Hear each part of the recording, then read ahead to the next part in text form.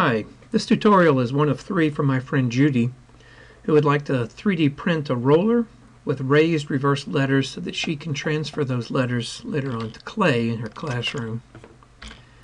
And so this is what we're going to end up making, something like this. You can see the letters are raised so that when, when it's rolled, it um, will dig into the clay and the letters are reversed so that when it prints out, the, the negative space will, will be able to be read. Alright, so this is what we're going to end up with.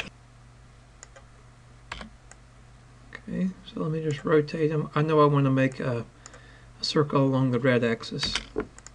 So I'm just going to delete that guy. Start with my circle. You can see it's red there. I'm just going to stretch it out to some distance. I want it to be a 100 sided circle, so I type in 100S, hit enter. That's going to make the circle smooth. And then I also want the circle to be 60 um, millimeters uh, wide, uh, uh, radius rather. I'm just arbitrarily coming up with these values, but the thickness of my letters, uh, let's say I want it to be 10 millimeters or 1 centimeter. So I'm going to make my, uh, my first circle 60, the cylinder I'm going to end up with is 50. So I make the first one a little bigger than, than is needed. I'm going to push pull it out to some distance like that. We may have to change that. And then I'm going to enter my 3D text. It's going to be rather large here, 30 millimeters, 12 millimeter extruded. Uh, it doesn't really matter about that. You can always scale it. And then whatever text you want, I'm just going to place it here on the deck. Like So, orient. I'm going to move. I'm going to do a lot of moving here and, and confining my movements to particular axes. To do that, you simply uh, click M or the move button, click on the thing you want to move, and then the, the right mouse button will confine it to the red axis, the left the green, and the up um, or down arrow to the blue. Okay, so that's an important, important little tidbit to learn, and that's good enough for government work there. Now, um, because I want the letters to be to be reversed, uh, and upright, I'm going to zoom in a little bit. Again, choose my move tool, and that gives me these red crosses here. I can grab one of them, rotate it. Uh, if you can't snap it right to 90, or if you don't, if you if you're not certain if it's 90 degrees, you can always tell the angle down here. So again, I grab the move tool, and oops, darn it, and you can see the little um, crosshairs here on the top you can rotate this now 180 degrees. This is going to reverse the face, and again, I'm looking down there at my numbers to make sure I get 180 degrees. Okay. The idea here is we're going to make a shell here that's that's 10 millimeters thick. We're going to then uh, run this thing right up through it, and then we're going to uh, we're going to take the intersection of those of that union and then we can apply that then to a new cylinder. I should have mentioned that for this you have to have SketchUp Pro, you have to have solid tools. Okay, so it looks like it's going to work. The next thing I need to do now is come here to the center, grab my circle tool. Um, you see how uh, it didn't pick up the center? If you hover over the edge of your circle, it knows that you're you want to play with this particular thing and then it will uh, find the center for you. So I'm just going to pull out some arbitrary amount and then type 50. Okay, the outer circle is 60, the inner circle is 50, therefore my thickness is 10. I'm going to now push-pull that inner circle. This is a cute little trick here. So I'm going to push-pull it, and I've clicked it one time, and now I'm not hanging on to the button anymore.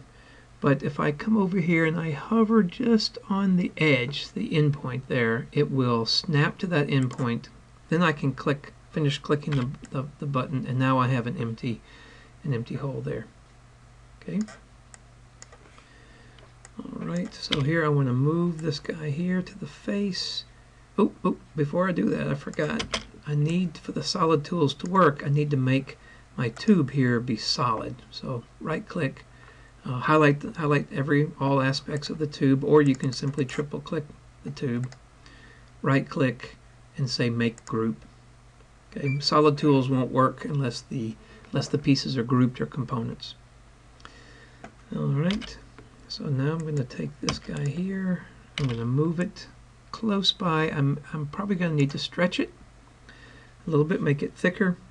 The thickness here doesn't matter so much as long as it's thicker than the than the wall. Um, and I'm going. What I've done here is I've clicked clicked on my lettering, pressed S for scale, and then I'm just going to grab that middle handlebar, which is going to stretch, extrude my letters even more. And now I'm going to rotate here, kind of get it lined up. This is, you can eyeball this pretty good there. And you can see if I zoom in that the top may be a little more curvy than the bottom, so I want to make sure that that's um, confined along the blue axis. I'm just going to move that down until it looks like that the top is about as curvy as the bottom. This is going to make it sit nicely on my on my cylinder that we're about to make here in a second. Okay, so now we have an intersection of two solid pieces, the letters and the tube. I've highlighted the letters. Now what I want to do is, uh, if you don't have the solid tool toolbar up, go to View, Toolbars, and then make sure that solid tools are showing. And then I'm going to choose the intersection. So I've highlighted my letters. I choose intersect. And then it gives me a, a 2. Then now I need to find the other group that I want to intersect with, which is the which is the tube itself. So I click on that. It takes a second or so to run through all the mathematics. And then what's left is the intersected piece. It's gotten rid of everything else except for the stuff that was intersected. Okay, and there we have our curved pieces. And this this edge here, this edge here, this inner edge, will fit on a 50 uh, millimeter radius circle. All right, and because I've done all my work on the origin, it's set and ready to go right there. So now all I have to do is grab the circle again, make it an arbitrary size, type in 50, hit enter, push pull it, Oops, sorry, sorry.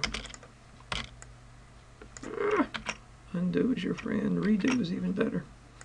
What have I done? Okay, so push pull it out something like that, even more. Like that and it should be right on our letters, just like that. So now we can highlight this piece here, make that a group, print it, and you've got yourself a roller that says intertext, of course, whatever else you want to say. Just to show you that intertext is in fact on the uh, on the cylinder, I'm going to choose this section pane.